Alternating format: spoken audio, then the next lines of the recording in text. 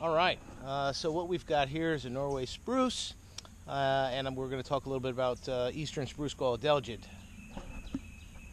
So, if you look very carefully, and I'll give you a zoom up right here, you can see at the base of some of the new growth coming out, there's these things that kind of look like pineapples. Uh, these are not pine cones, they're certainly not pineapples, not a Norway spruce anyway.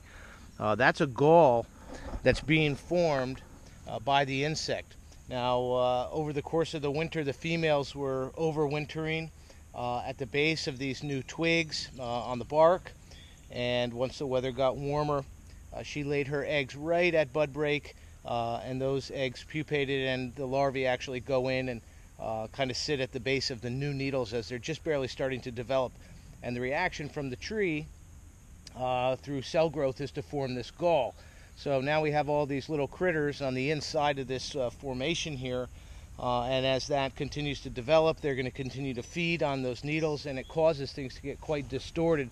Sometimes you get what we call a shepherd's crook.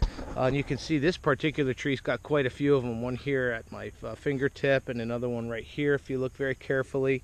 Uh, and you can see that some of these, uh, the new growth right here is actually curling. so if you start to see your Norway spruce be symptomatic like this, uh, likely it could be eastern spruce gall adelgid.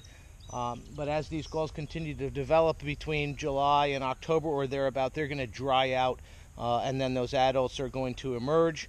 The females are going to lay new eggs uh, on those twigs, and they're going to overwinter as uh, female nymphs uh, in that bark. And again, the process is going to continue next year. So this is um, you can remedy this through some topical applications, some soil injections uh, are also appropriate. So speak to your certified arborist or your licensed tree expert to point you in the right direction insofar as what might be appropriate for you. Uh, I'm Chris with Tamke Tree. Continue to look for us on Facebook. Make sure you like us.